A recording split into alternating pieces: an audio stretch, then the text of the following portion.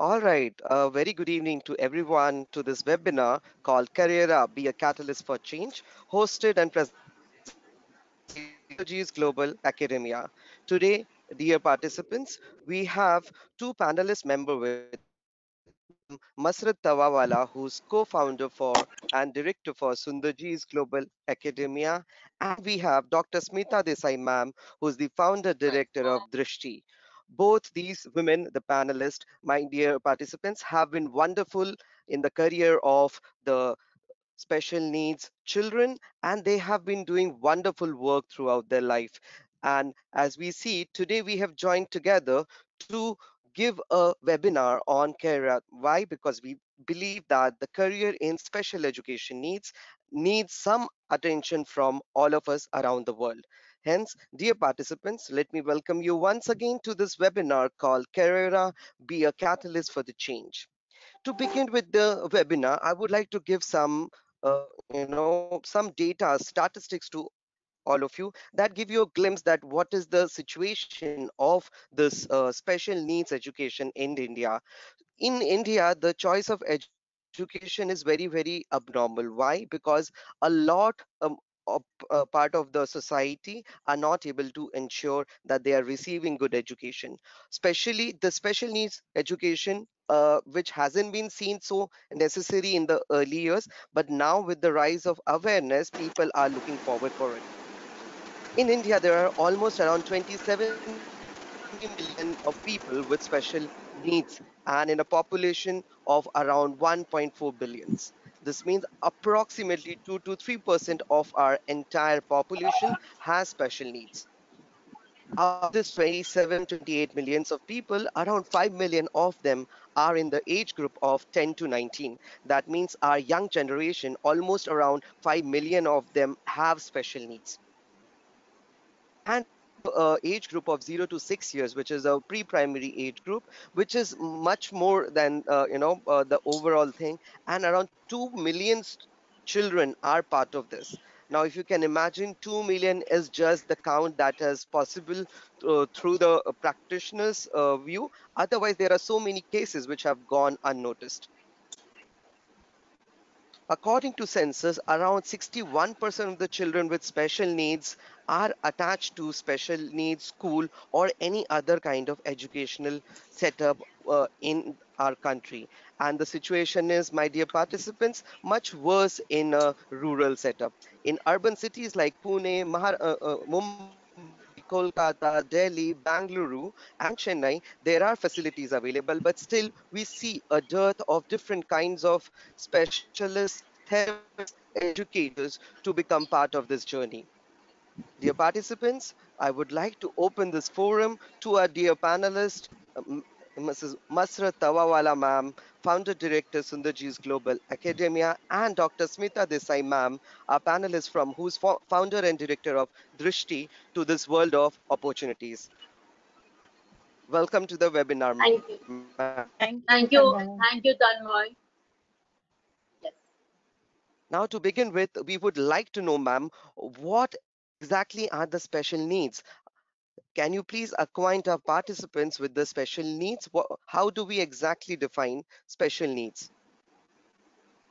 Okay, um, so there are two ways of looking at it. Um, you know, what we call special needs, or in India, what's also known as CWSN, that is children with special needs. And uh, then there is also a term known as special education needs. So just let me distinguish and that itself will help define what it is. Uh, children with special needs are largely the one with disabilities which are, you know, from moderate to severe. And uh, children with special education needs, there's also a term uh, which is used in the UK, which is known as SEND, which is special education needs and disabilities. Um, now the thing is that children in school may have difficulties with learning and might need some additional support. And these children need not be having any disabilities okay? So they can be children who've had a regular developmental trajectory and yet have special education needs that is they need some support in order to cope up with the learning in the regular school. And then there are special needs which are actually the disabilities which you know are more severe and which may or may not be able to um, you know be supported in the regular school. So that's the kind of uh, difficulty. And also uh, if you really want to if everyone just wants to know about all the different disabilities um, you know the persons with disabilities act 2016 uh, gives you all the 21 types of disabilities which are now recognized in india Thank you so much, ma'am, for this wonderful introduction of uh, what exactly special needs. And I am sure our dear participants have got an insight and were able to identify what exactly special needs. And just to add to that, ma'am has mentioned about that persons with the Disability Act. So all of you can, you know, uh, procure this copy online. It is available and have a look. What are the different kinds of disabilities that have been identified by Government of India? Now, moving on to the next, I would like to ask Masarrat Tavawalla ma'am, what exactly and where exactly do we find the scope of spe special needs education? So, Tonmoy, most important is that uh, special needs, it's a very, uh, absolutely a valuable career nowadays that you can pursue a career into special needs. Uh, you don't need to be a mainstream teacher to pursue a career into special needs but let me give you a word of caution. It's a very different ball game altogether. It's not like a mainstream school teacher. So only if you have the passion, compassion, and you're willing to take up those challenges with special needs children, then you should think of a career in special needs. Because as Mita ma'am said, the kind of disability that we are talking of learning disability, we're talking about dyslexia, dysgraphia, dys, uh, dysgraphia, dyspraxia, we're talking about cerebral palsy, we're talking about autism. We're talking about so many disabilities, hearing impaired. And so to take up a career into special needs is very, very challenging. And you should be prepared for it. But I'll just brief you with all kinds of career that is open. Usually people think that, oh, it's only to be a special educator. No, but you have a scope of nearly 13 to 14 careers into special needs. So I'll just start with the most simplest of all, that is being a special educator. Now, the special educator, the scope that she has, that she can work in school, she can work in hospitals, private clinics, and also set up her own uh, center. So the job profile would be, you know, like uh, for a special educator is that she would assess the skills of the children. There would be an assessment done by her, which is informal. She's not qualified to do a formal assessment, but an informal assessment to checklist. She can make an IEP can actually plan, organize an uh, entire educational plan for the child.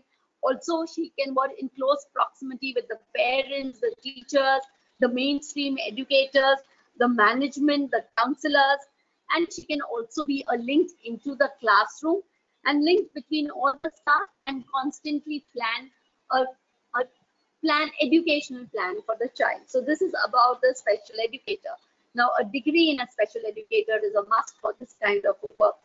Next is a school counselor. Now, a school counselor is more, she's not exactly a special educator, but she looks into the health, mental, emotional health of the child and she constantly counsels them. Mainly, she's counseling the parents and also the behavioral issue of the child. She works with special educators and close proximity of the classroom. For this, you will need a degree in counseling. You also, uh, she provides with all the kind of services and therapy. So that's one of the things a school counselor will do. Next, you come to a clinical psychologist. I'll go quickly through it. Again, work in hospitals, private clinics, school. But a difference between a school counselor and a special educator and a clinical psychologist would be that she would be looking into formal testing, understanding the mental, social, emotional, and psychological needs of the children.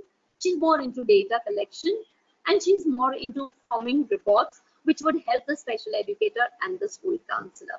Here you will need MA in clinical psychologist.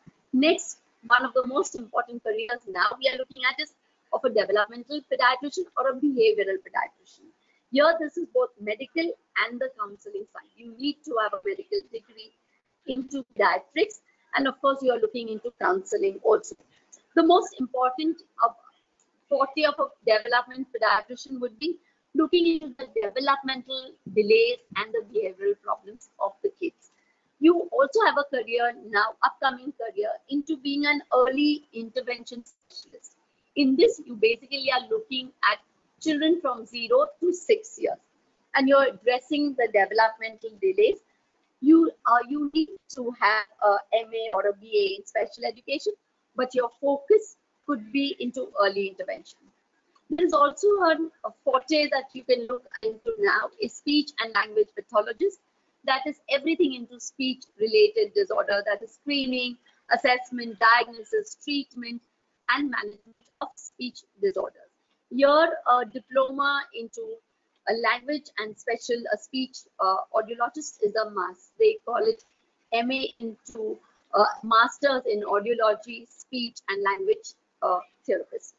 You also can do a postgraduate certificate course in auditory and verbal therapy to assist you in helping to become a speech audiologist.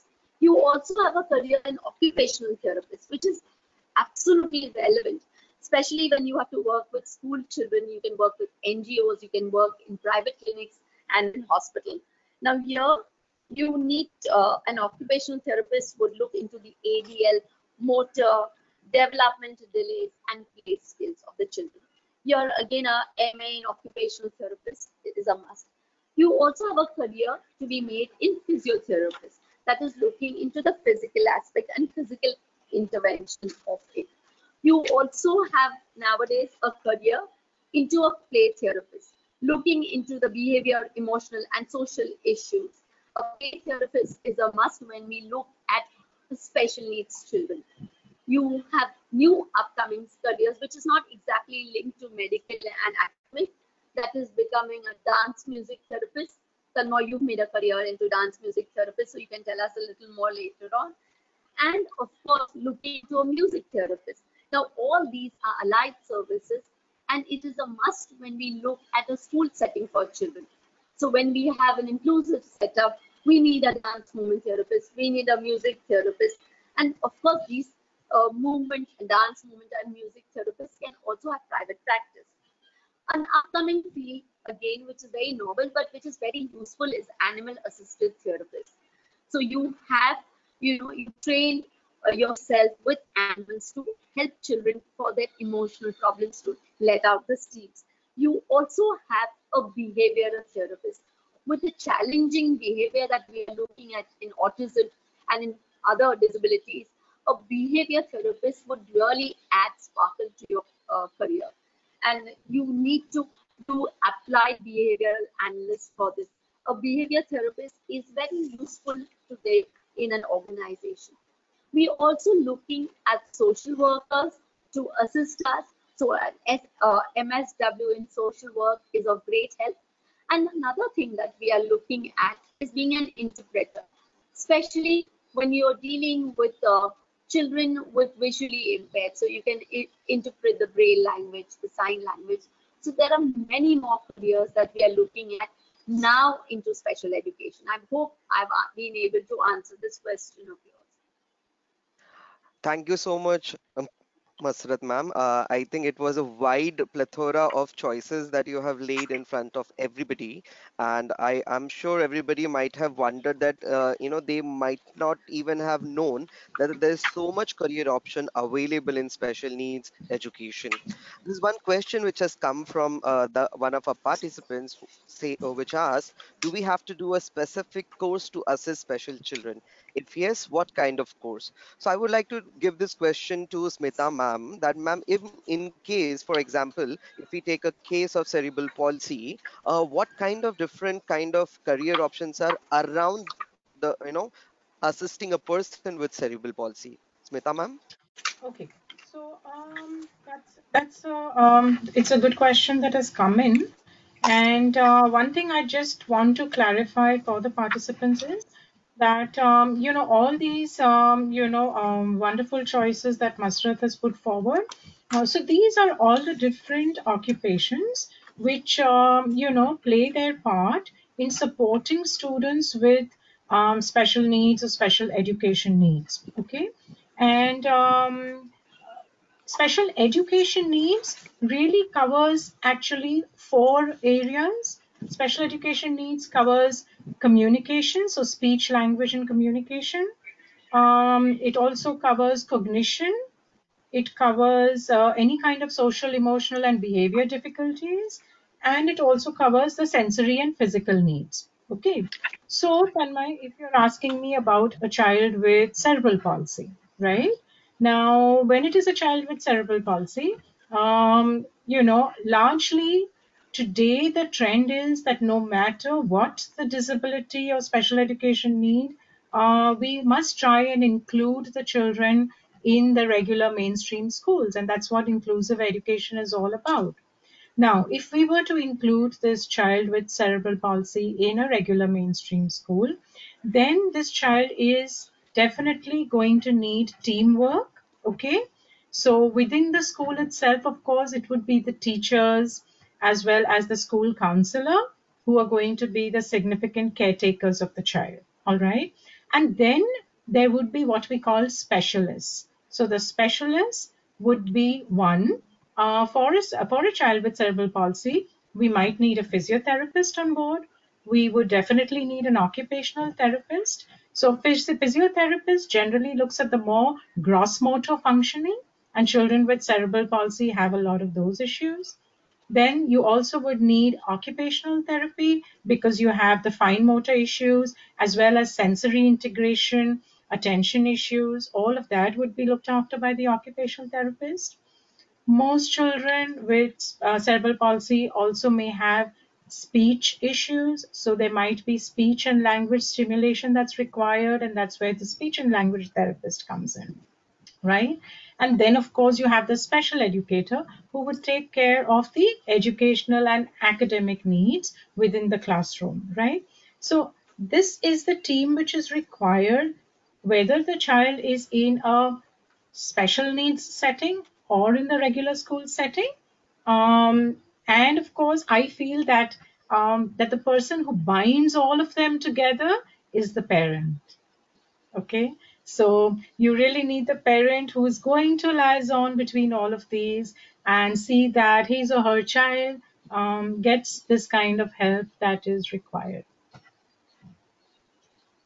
Yeah. Uh, that was a wonderful uh, explanation uh, with the case, ma'am. And I'm sure our participants might have got a bright insight that, you know, how in each case, now we have just taken a case of cerebral palsy, like that there are different kinds of disabilities. And I think there are different kind of comorbidities that happen within the, these uh, disabilities. So the, the nature of the careers uh, that is there in front of us are too many and uh, uh, if we want we can choose uh, as per the you know the passion what we have and accordingly we can you know pursue a career in a particular domain all right, ma'am. Ma'am, uh, the very next question that comes whenever it is specifically about careers is how much we are going to earn. This is a very prime question which you know uh, struggles the mind of the young generation as well as people who are shifting from one career to another because of their passion. So I would like to open this question to both of you and uh, you know uh, you know how the financial things looks uh, up to uh, when we want to pursue a career in special needs education. Right. So Masarrat, maybe you can go ahead. Yeah. yeah. So Masarrat ma'am yeah. can go ahead first. So basically, um, yeah. Right. So uh, it's quite a good career uh, if you look at the finances, but definitely it will not give you what you're looking in the IT world or a corporate world. You have to understand. None of the educational careers actually pay you what you would get into the corporate world. But there's another part to it altogether, which is very different. Everybody cannot go into the IT sector. So there are some people, because of their affinity towards uh, special needs children or compassion, would definitely would want to make a career here. And my dear friends, it's uh, you've got so many choices. And today with the uh, kind of statistics uh, you've told us, Tonmoy, it just shows, uh, it just tells us that we are in great demand. These careers are in great demand. And to tell you financially, if you're starting as a special educator independently two, three days a week, you will earn somewhere around 15 to 16,000 just two, three days a week for just giving about three, four hours. Now, if you are a full-fledged special educator in a school, nothing somewhere between 20 to start off with, it goes up to 40, 45. If you have an independent private practice, like with uh, you have a play, you are a play therapist or you're a DMT, definitely you're going to earn anywhere between a bracket of 30 to 45,000. And of course, you will be taking private sessions later on.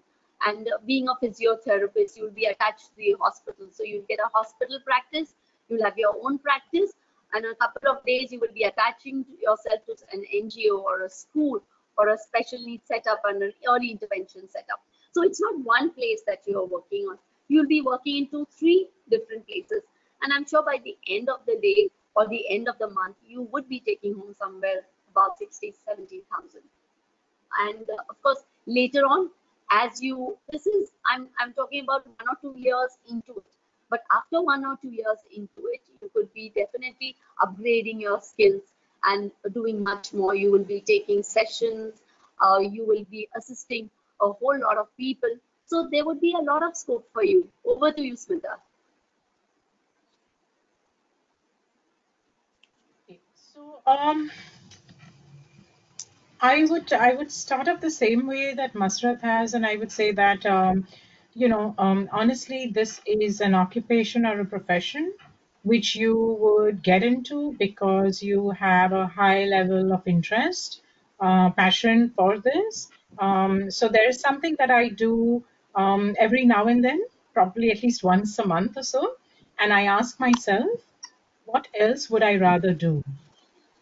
And obviously, I haven't found another answer, and which is why I've been in the field for the last 30 years. So uh, make very sure that this is what you want to do because, um, you know, Masarrat, of course, has given you some logistics because, um, you know, once you are, once you take up something of your own volition, your own willingness, then whatever you earn also, uh, you will make sure that um, it takes care of what your needs are. Yeah. So that's at least that's the philosophy I've used all through my life, and it has helped me in good stead. Um, having said that, what are some of the um, uh, you know kind of salary brackets we're looking at? Um, let's say in uh, schools, schools uh, might be paying you anything is starting I think about you know 18, 20,000 onwards, and uh, the senior management of course would get much more um, say let's say in our organization freshers come in and start off with you know 20000 plus and soon move up. We try and fast track them as soon as they're gaining experience. Senior management is taking home you know a good salary of 50 to 60000 plus. Um, so uh, really depends uh, how many years you can put in. Um, international schools of course are paying excellently uh, but then you know there aren't that many international schools so really it depends. Also the also um, the different um, uh, environments. That is, if you're working at a practice-based uh, environment like ours, or are you working in a school, or are you working in a hospital? Um, all of them give you different experiences. So I think you should choose in terms of what experience you want to take up. Uh, we, uh, we at Drishti, of course, offer absolutely full-time jobs. We don't take up part-timers uh, we take up a 9 to 5 10 to 6 because we have a lot of things beyond practice that we're doing. We do a lot of outreach okay? Because our vision is uh, to make a significant impact in the lives of these children and their families. So there's a lot of capacity building that we are doing for schools. So as a special educator as a school counselor or a psychologist you would also be involved in a lot of training work which i think is the need of the hour so these are the kind of salary brackets that you would uh, you would look at. But again, like um, you know, very rightly Masarrat said earlier, um, you need that passion and compassion. Um, otherwise, it's kind of better to stay away from it uh, because uh, what this job gives you, if you really like it, it gives you some intense satisfaction and, of course, frustrations along the way in any job. But this is something which is so socially satisfying that it probably uh, makes up for whatever little um, you know you might not be taking home as a take home salary yeah um, I'm, I'm done, uh, Tanmay, with that. Thank you so much, uh, uh, both of you, both of our panelists. Uh, there are many questions which are getting popped up in the question, uh, you know, chat box for uh, both of you, and uh, most of them are about various kinds of courses that one can pursue. Also, there is one question which specifically asks about RCI registration. So, would you like to throw some light upon that about RCI and the registration part? Sure. Yeah. Um, Uh, so if so- you talk about, yes, Rita, go ahead. no, no, go ahead, Master. Go ahead. Uh, so if you're talking about the courses, if you're talking about the courses in India, RCI, that is the Rehabilitation Council of India, is the statutory body which develops, standardizes, and regulates most of the things and the courses in special education. So we have quite a good few courses in India. One is B.Ed in special education, but all of them are full-time. This is a full-time two years course, on-site degree course recognized by the RCI and it has got an entrance exam. You also have a diploma in special education recognized by the RCI, which is again you can you can use it for autism. You can train yourself for autism, two years course, again affiliated to Action for Autism. Then there is also an integrated postgraduate diploma in special education. Now this is slightly different for people who want to pursue it. It's got for 540 hours of teachers training and 200 hours of a child psychology. You have B.Ed in special education in ASD, that is autism. You have B.Ed in special education in MR specifically, in uh, hearing impaired and learning difficulties. So your B.Ed in special education again is specific to either autism or to learning difficulties or to hearing impaired. You have short-term certificate course also in uh, autism spectrum disorder. You have a diploma course run by the RCI in for MR that is mentally challenged, cerebral palsy, and also autism. So these are a few courses that are, uh, you know, run by the RCI, which is a very important statutory body.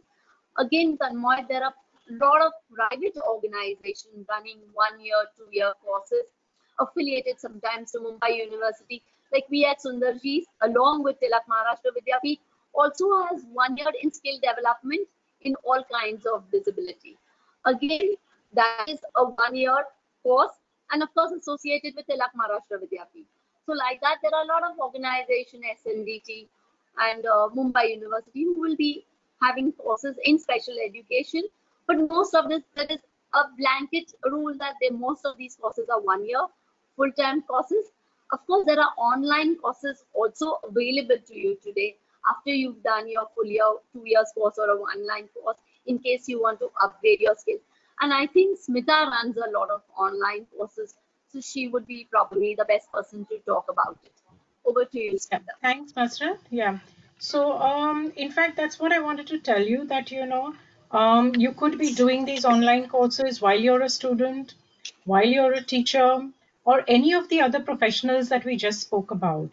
So, in fact, Drishti has started an initiative called Prabhav, that is P R A B H A V, and our website specifically for online courses is prabhav.education.com. It's an initiative by Drishti for capacity building in the area of special education needs and psychology. So we really believe in inclusive education in psychology, and that's what we've been doing all these years. So if you get on to our website, there are various courses that we have on inclusive education, counseling skills, counseling skills for teachers, and in fact, we just put up a course there for which we're sending out information, and that is on crisis intervention and trauma management. So this is to get schools to be trauma prepared because today with the situation that we are going through in COVID-19, we've got to be prepared for what's coming our way in the next six months to one year. And there will be issues that we as school administrators, teachers, counselors, special educators are going to have to handle, you know, with reference to the children, the parents, as well as the teachers who are going to need help in the classroom. So um, y'all could visit our website and we, we're constantly putting up more and more courses. So Masarrat, uh, we are also soon going to put up a course Yes. on, um, you know, um, leading, leading to learn. So helping leadership on different aspects, you know, on different Right. psychological and psychosocial aspects. Okay. So we're putting up a course on that. Um, so guys, you can, you know, uh, get on to our uh, website, prabhav.education.com. And, um, you know, there are courses there. And the courses we do is in different versions. So there is an insight version, which is just a five hour course, and you just get an insight into that particular topic. And then you go into the next version which is a light version and that is just a 20 hour course so you can finish it in about 2 to 3 weeks. And there that's a more in-depth version okay? And all our versions have videos readings. It has a lot of reflections which are involved in this. And then there is the advanced version. So that is if you want a certificate then you have to do a short evaluation to be able to get the certificate so that means, you know, you can go in without needing to be evaluated. People sometimes don't want to be evaluated. So you can go in without that and yet get your information. And if you want a certification, then that's what's also available to you. So you have different versions. Get onto the website, you'll get a lot of information about our online courses. Thanks, Tanmay. Thank you so, much, Smita ma'am and uh, Masarrat ma'am, for giving us this insight on these. And many of the questions have been already answered with respect to courses. Many of our participants have asked that. And uh, if you see dear participants, there are uh, you know numerous uh, career options that is available. And for a particular domain, you have a particular course available. So sky is not the limit. You can just go on and find out what you would like to do. And uh, you know you can uh, uh, figure out what passion you know you have for in what kind of domain.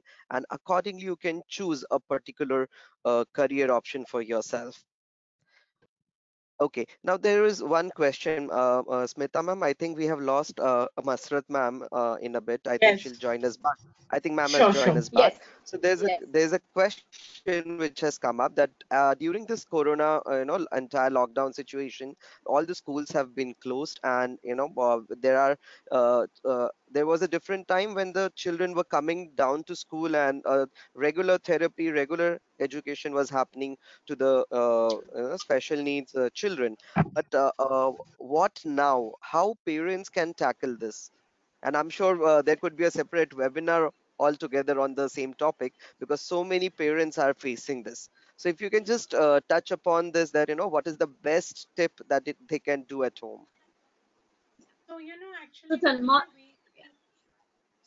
sorry, can I go ahead? no, no, go ahead. Yes, yes, yes.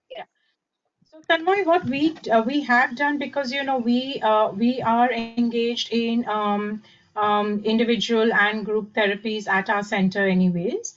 And actually, since um, you know the last couple of years, we had been doing online therapy in terms of you know the remedial education as well as counseling for cases which were you know from either from out of Mumbai or from far away. So we had actually fortunately been trying this. Okay and uh, therefore we have been able to move in quite quickly into the online mode as far as online therapy is concerned because we we already had ourselves into that mode a while ago.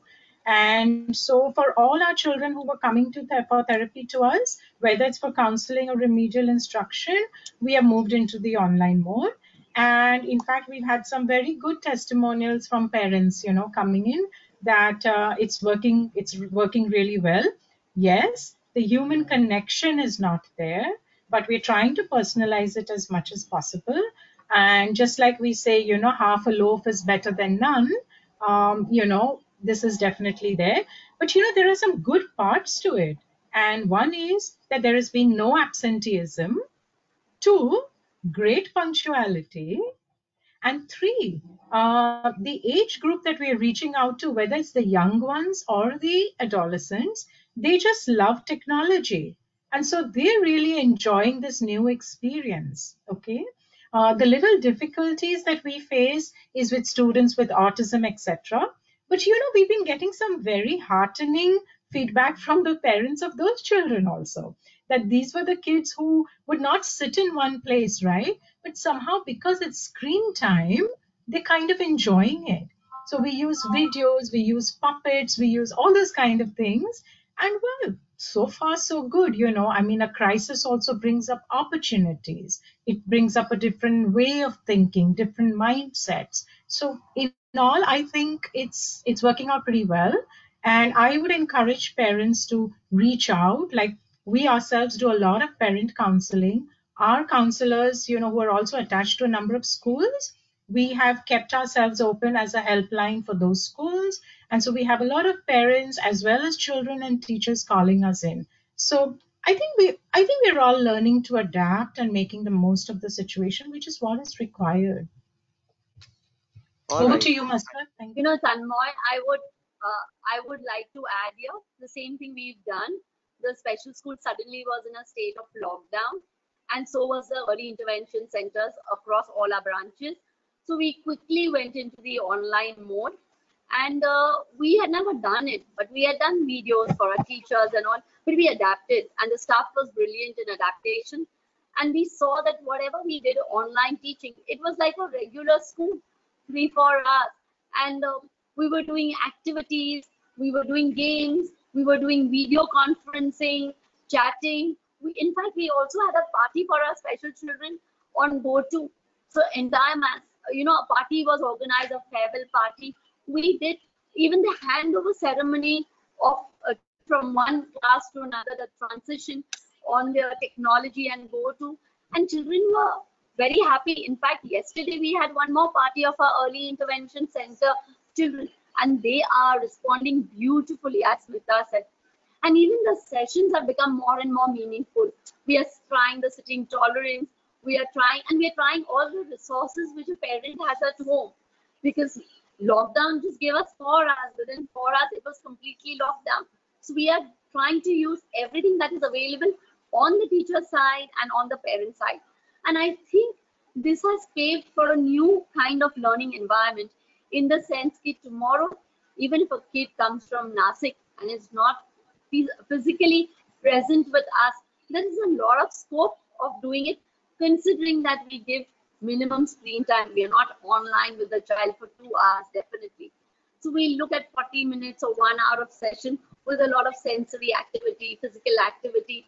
And I think a whole lot of things can go on. The only thing is we need to take care of the bandwidth because the connectivity in certain places was not good and parent skills. So maybe we'll have to train up a parent to take up an online session along with the child. And I think parents will become real-time educators. That's all. That's a wonderful uh, story to hear from both of them, from Masarrat ma'am and Smita ma'am. That even though in this these hard times of uncertain situation where we are facing the lockdown and we all are packed at home, but this is also an opportunity to learn and adapt to technology and make best use of it. And I'm sure with these stories in, you would also like to, you know, explore what are the different possibilities that a parent can do apart from these sessions which is handled by the experts online. yeah there is so one In more fact, question I would has like to, yeah. In fact, I just want to add your parents would become the best teachers and they could become very good shadow teachers at times for other kids. Or, you know, we should uh, definitely have more parents joining us as special educators and uh, doing a proper course in it. Or even when we have these short term courses at our center and at Drishti or at many other places, a parent could equip themselves and could, you know, we are dearth of special educators. I was just reading somewhere that we are short of 1 lakh 26,000 teachers. So, what more than parents making career choices in special need also? um, i just Wonderful. like to add a Uh, word you were telling here about the questions. Yeah, I just like to add a word here though about the parents. Um, I generally would encourage parents to take up different courses to educate themselves so that they are better educated in looking after their children. They are better able to advocate for their children's needs. Yes. However, um, it is it's really important that they remain parents and not become their child's teachers because it can be very stressful for the parent also. And therefore, I think the role of the parent must be that of a parent and also to supervise the educational and academic and therapeutic needs of the child. Therefore, I said, you know, like a parent is more like a traffic policeman and he's got to kind of keep track of everything happening because there's so much happening for these children that it has to be monitored. So parent education programs, which is also a lot of what we uh, we run, I sincerely tell parents that you must you must do everything to educate yourself as a parent but uh, you know not not really be a teacher. I mean that's that's my opinion in so many years and that's my experience which is what i you know i just thought i'd share with you guys. Thank you so much for sharing that, Smita ma'am. Uh, now, if you see, dear participants, especially the ones who are parent, that you know it is not going to be an easy job to become a therapist. And even though if you try to become, you do your courses, try not to be two things at a time with your child. Either you can be the therapist or the teacher, or you can be the mother. And as ma'am said, it is always wonderful to keep, uh, you know, uh, uh, if you are a therapist or you are trying, you know, trying to pursue a course in therapy, uh, it's better if you go and look after the other children first. Because what happens when you try to do that the role confusion that you bring in will be more stressful to you as well as the parent both of them and with this, I think we are moving towards the end of the uh, webinar today. I would like uh, to uh, like to request Masarrat ma'am to give her concluding remarks on about this whole webinar about career in uh, and how to become a catalyst for change. So Tanmay, uh, one very important thing that uh, we need to touch upon is the topic of inclusion. See, we are looking at all careers in special education, online, offline, and physical world, and there are a lot of job, job opportunities uh, available to us. But we cannot forget that all these children who are uh, uh, with special needs need to be included in the mainstream of our society. There is no way forward but to practice inclusion.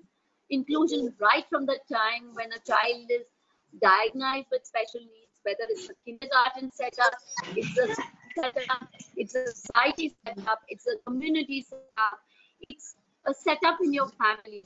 We need to include these children into our mainstream life. And unless we don't do that, there is we, we will not be able to have a very healthy society later on because the statistics that you are talking about is far wide. And with so much lifestyle changes, we see more and more children with needs. So my concluding remark would be that I would like to see a very inclusive society where inclusive diversity and inclusion are practiced side by side. The first step to become empowered is to embrace disability, and the second step is to practice inclusion in all walks of life. And definitely, when more and more people take up careers into special education, I'm sure we are looking at a more inclusive society because there's this new generation of millennials who will take up this career into inclusion. And I hope that today our dream of making India an inclusive setup in all spheres would be achieved by many more people joining hands together. That's all I would like to say. And regarding the careers, I'm sure you've all understood by today's webinar that we have, there's no dearth of opportunities.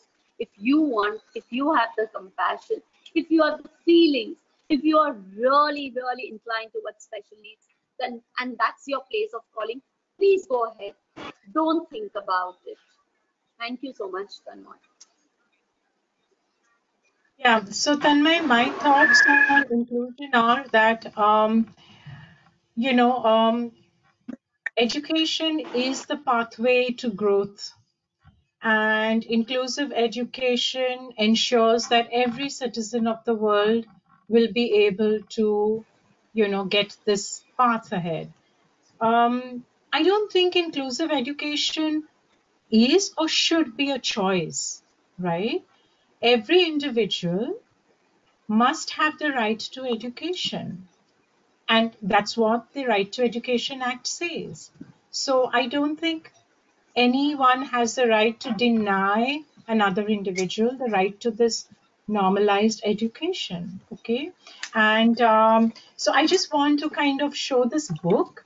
Um, in fact, uh, this is a book which I have edited and which a number of people across the country and across the world have contributed to it. The name of the book is Miss How and Me. It is everything about inclusive education. It is actually a collection of stories, okay, from from the perspective of different stakeholders. So we have stories coming in from school leaders, from therapists, from parents, from uh, higher education specialists, and they've all put together a story about inclusive education. And so, what we try to put together in this book, Tanmay, we try to put together a blueprint of inclusive education. So, success stories of inclusion. We know it's difficult, but we also know that it can happen, right? And so we put forward these success stories as blueprints. And the name of the book is Miss How and Me, which is actually the title of one of the stories. And this book is available on Amazon. You can also get onto our website, which is um, drishtionline.com, and you would be able to have a look at uh, the book availability. Uh, it's available in ebook format also. Amazon will provide that. So you can get on to any of this. And the good part about uh, this book is that we have like 80 to 90% of the stories from our country itself, which is not what we have a lot of. We don't have much documentation, right? And these are stories which are coming from the stakeholders. So it's a, it's it's a nice book. It's a very easy read, and um, a lot of these stories, in fact, can also be used as case studies. Okay, so uh, just leaving you with that and with my thoughts on inclusion. Thank you, Tanmay. Thank you, Masra. Thank you.